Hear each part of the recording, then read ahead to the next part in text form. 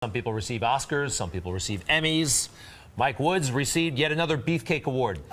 Congratulations to TV Guide. I mean, that is like a big deal. They said he's.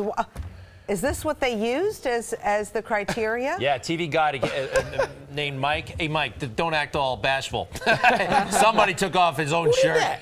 Mike, you got a great physique, and TV Guide recognized you as one of the 13 sexiest meteorologists globally. which is kind of, you know, I gotta say, I was kind of impressed with that. That was because that guy Steve Weatherford, he was here taunting me Let me with ask his you little something. magazine you layout. came in what number seven out of thirteen? Well, I don't know if it's actually ranked from top to bottom or how that is. All I want to know is number one and two. How much clothes did they take off?